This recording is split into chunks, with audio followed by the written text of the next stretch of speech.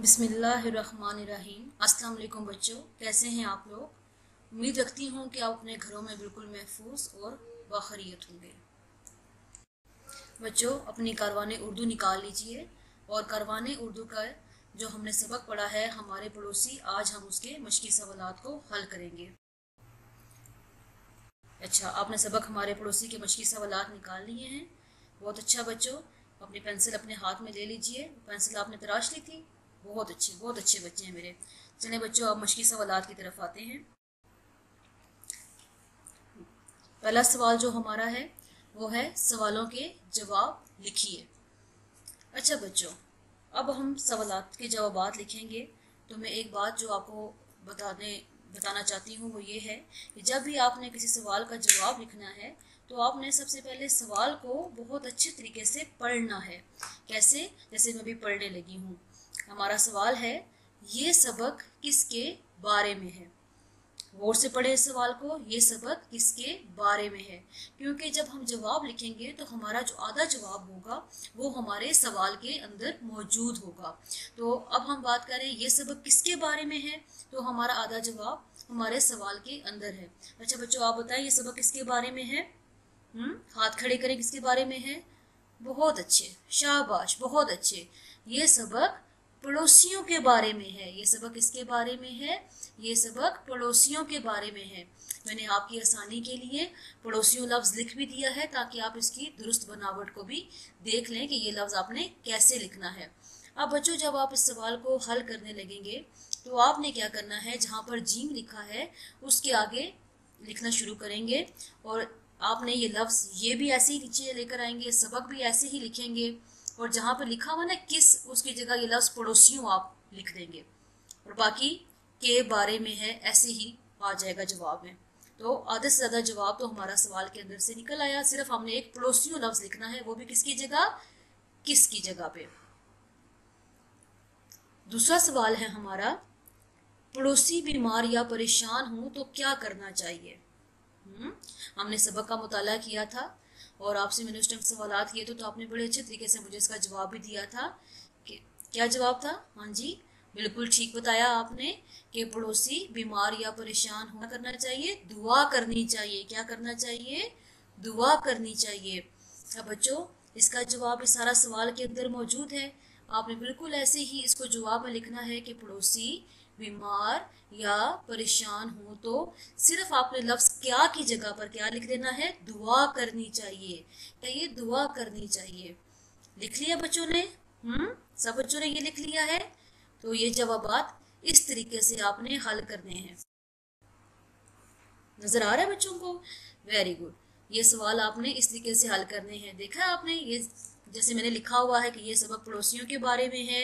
पड़ोसी बीमार या परेशान हो तो दुआ करनी चाहिए। मैंने दोनों जवाब आप लोगों के लिए लिख दिए हैं ताकि आप लोग देख लें और समझ लें कि जवाब को आपने किस तरीके से किताब के ऊपर लिखना है। अब बच्चों, हमारा दूसरा सवाल है। दूसरा सवाल क्या है? खुद आजमाई का सवाल है ये। खुद आजमाई क्या होता है? खुद आजमाई का मतलब होता है कि खुद पर आजमाना। खुद का मुशाह करना, यानी कि आपने इस सवाल के अंदर अपना मुशाह खुद करते हुए देखना है कि जो बातें कही जा रही हैं या जो बातें बताई जा रही हैं, आया वो आपके अंदर मौजूद हैं या नहीं है। अगर वो बातें आपके अंदर मौजूद हैं तो आपने क्या करना है? दुरुस्त का निशान लगाना है। और अगर आपके अंदर वो बातें मौजूद नहीं है तो आपने क्या करना है? गलत का निशान लगाना है। तो अब हम जो दिए हुए जुमले हैं, वो पढ़ेंगे और फिर आपने उसको अपने मुताबिक देख के दुरुस्त और गलत का निशान लगाते जाना है। चूँकि ये खुदा आजमाई है तो मैंने इस सरगर्मी को अपने तरीके से हल किया है कि मेरे में आया ये बातें मौजूद हैं या नहीं हैं। तो इसको शुरू करते हैं आप।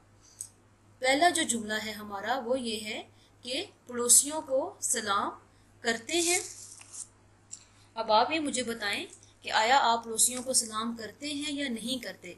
अगर आप पड़ोसियों को सलाम करते हैं तो आप दुरुस्त का निशान लगा दीजिए, और अगर नहीं करते हैं तो आप इस पर क्या करेंगे? गलत का निशान लगा दें। चूँकि मैं पड़ोसियों को सलाम करती हूँ, इसलिए मैंने यहाँ पर दुरुस्त का निशान लगा दिया है। अगला जुमला हमारा ये है कि अगर पड़ोसी कोई ज़रूरत की चीज़ मांगने आए तो बुरा मानते हैं। बच्चों, इसका क्या जवाब होगा? हम्म? कि अगर कोई पड़ोसी आपसे कोई चीज़ मांगने के लिए आता है तो आप बुरा मानते हैं या नहीं मानते हैं? मैंने अपने मुताबिक इसके आगे गलत का निशान लगाया है कि मुझे बुरा नहीं लगता जब पड़ोसी कोई चीज़ मांगने के लिए आते हैं तो। अब आप बताएँगे कि आया ये चीज़ आपको बुरी लगती है या नहीं लगती है? हो गया? यहाँ तक आपने कर लिया हल इसको? बहुत अच्छे, शाबाश।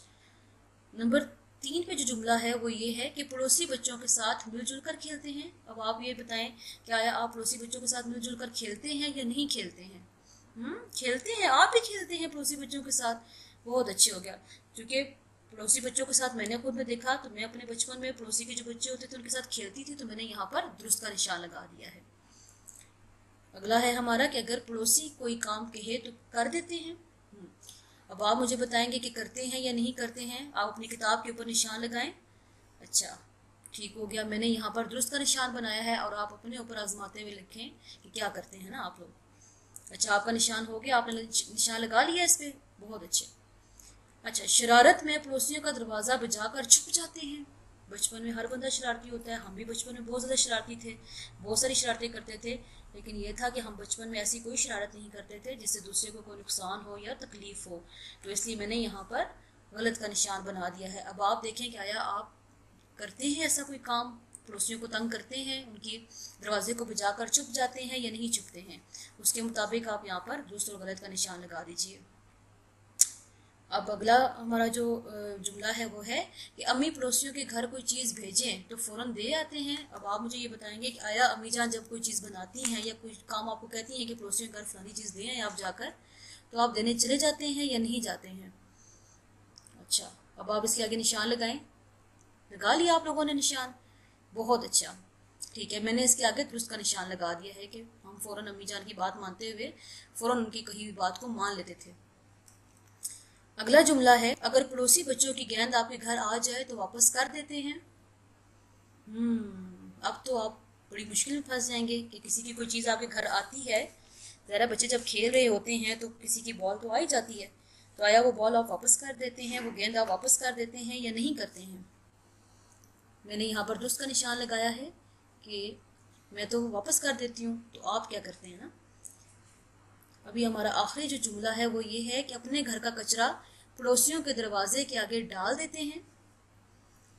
मैं तो ऐसा कोई काम नहीं करती हूँ, इसलिए मैंने यहाँ पर गलत का निशान बनाया है। अब आप देख लें कि आप इधर दुरुस्त का निशान बनाएँगे या गलत का। तो इस तरह से बच्चों, हमारी जो ये सरगर्मी है, वो मुकम्मल हो जाती है। अब आपने ये करना है कि जो अपने निशानात हैं, उनका, उनको एक बार उनका मुशाह करें, उन्हें देखें और सोचें कि आया आप एक अच्छे पड़ोसी हैं। अगर आपका जवाब नहीं में हो तो अच्छा पड़ोसी बनने की पूरी कोशिश करें कि, और हमने, हमारे पड़ोसी सबक के अंदर यही सारा कुछ पढ़ा कि अच्छे पड़ोसी के अंदर क्या चीज़ें हैं जो होनी चाहिए हैं। तो आप इन निशानात को देखते हुए, अपना जायज़ा लेते हुए ये ज़रूर जानिएगा कि आया आप अच्छे पड़ोसी हैं और अगर आप अच्छे पड़ोसी नहीं हैं तो क्या चीज़ें हैं जो आपने अपनी ज़ात के अंदर शामिल करनी है ताकि आप एक अच्छे पड़ोसी बन सकें। तो बच्चों, उम्मीद रखती हूँ कि आपने ये दोनों मशक़ी सवाल बहुत अच्छे तरीके से अपनी किताबों के ऊपर हल कर लिए होंगे। ठीक है बच्चों? तो इजाज़त है बच्चों। अल्लाह हाफिज़।